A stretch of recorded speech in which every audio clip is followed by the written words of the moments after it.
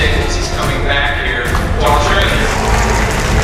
The image of a man living his Catholic faith is so foreign. The level of disagreement, folks, among Protestant theologians and churches and communities is so incredible.